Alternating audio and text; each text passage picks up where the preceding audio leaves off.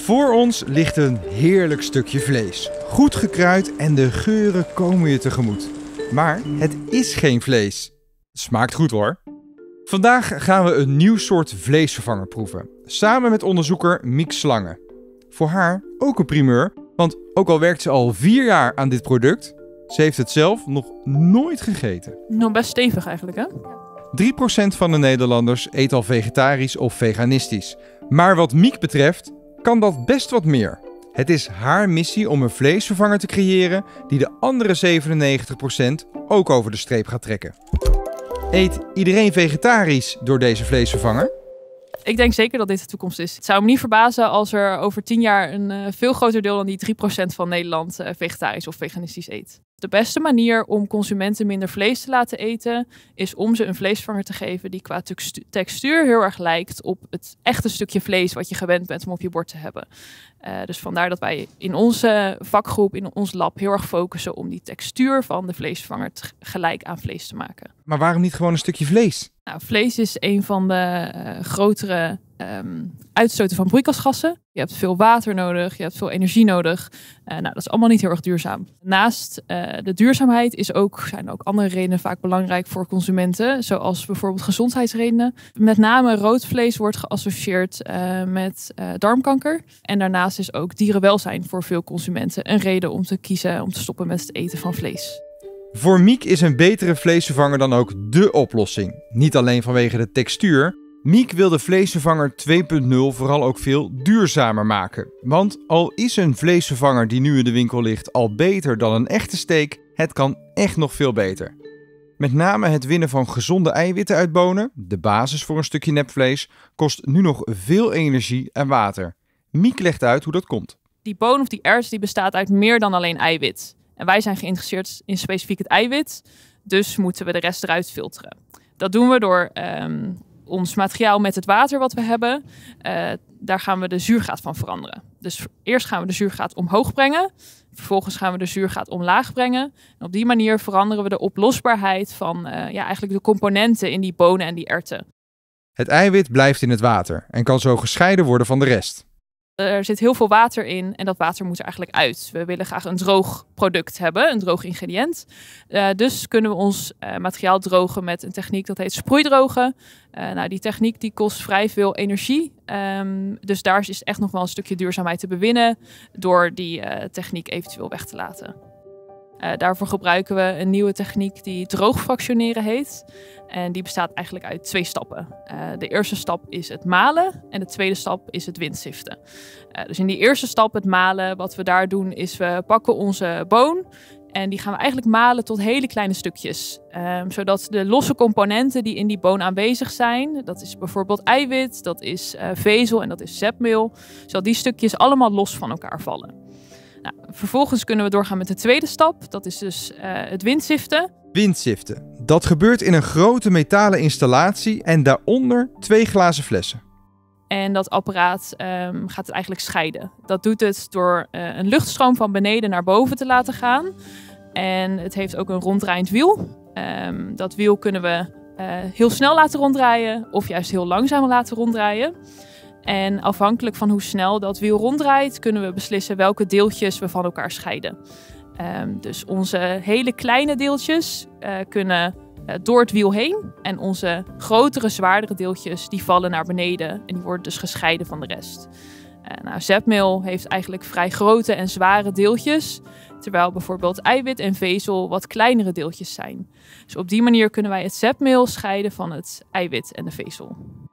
Deze nieuwe methode verbruikt minder water en kost minder energie. En je houdt niet alleen eiwitten over, maar ook nog vezels. Win-win dus. Je gebruikt dus meer van de boon en met de vezels wordt de structuur van de vleesvervanger ook nog eens beter. Op naar de volgende ruimte om met dit eiwit-vezelpoeder die nieuwe generatie vleesvervanger te maken. Maar zo gemakkelijk is het helaas niet. Nee, dat nieuwe poeder uh, dat kunnen we nog niet rechtstreeks gebruiken om de vleesvervanger mee te maken. En dat ligt er voornamelijk aan dat het nieuwe poeder een heel andere functionaliteit heeft. Uh, dus dat betekent dat wij daar heel erg aan moeten wennen. Het oude poeder dat uh, werkt eigenlijk heel goed. Daar kunnen we een mooie vezelachtige structuur mee maken. Met het nieuwe poeder moeten wij nog een beetje leren hoe kunnen we dat op de juiste manier inzetten. dus we moeten waarschijnlijk een beetje onze processtappen gaan aanpassen, zodat het nieuwe poeder uiteindelijk heel goed gaat werken. Dus we hebben een nieuw poeder dat minder energie en water kost om te maken en dat ook nog eens een betere bite heeft, in potentie. Maar daar moeten we nog een aantal jaar op wachten. Miek kan ons al wel laten zien hoe ze nu al met het ouderwetse eiwitpoeder die betere structuur kan creëren in een nieuw ontwikkelde machine. Nou, het is eigenlijk gewoon een beetje een geel poeder. Heel precies weegt Miek het poeder af, tot de milligram nauwkeurig. Hiervan uh, hebben we ongeveer 40 gram nodig om een monster van 100 gram te maken. Ook het water wordt afgewogen. En in een maatbeker roert Miek alles door elkaar. Net alsof ze een beslag maakt om iets te bakken. Je ziet dat het nu eigenlijk een soort uh, droog koekjesdeeg aan het worden is. Het is nog vrij kruimelig, maar dat mag. En vervolgens uh, gaan we dat laten hydrateren. Uh, dat betekent eigenlijk dat we het een half uur laten rusten, zoals je ook zou doen als je bijvoorbeeld pizzadeeg gaat maken. Um, en dat doen we zodat het water eigenlijk goed in het eiwit kan trekken. Zodra het deeg klaar is, kan het in de machine die er een vleesvervanger van maakt.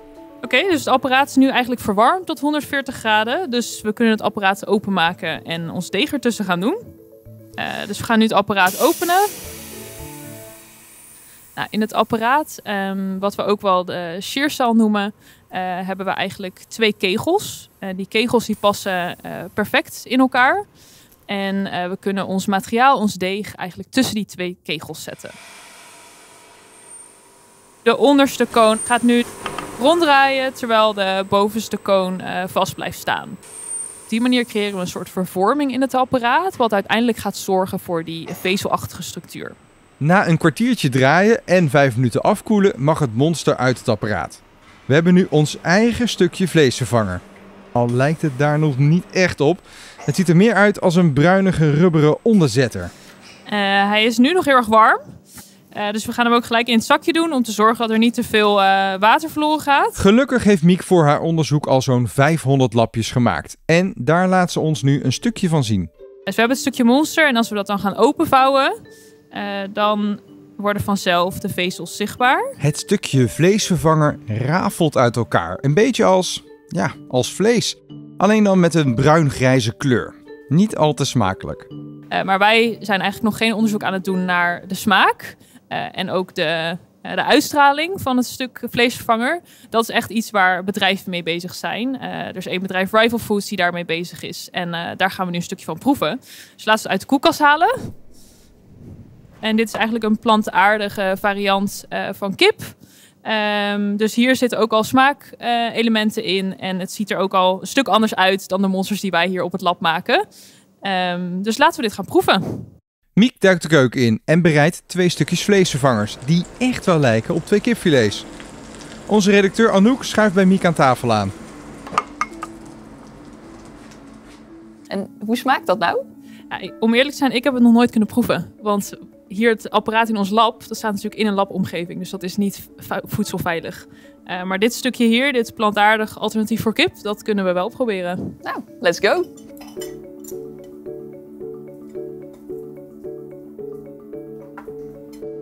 Heeft een, uh, meer een kiptextuur. Je moet er wel echt op kouwen in vergelijking met andere vleesvervangers. Ja. Ik vind dat het wel goed smaakt. Je proeft nog een beetje de plantaardige eiwitten erin. Um, maar in ieder geval smaakt het niet zo sojaachtig als de vleesvervangers in de supermarkt.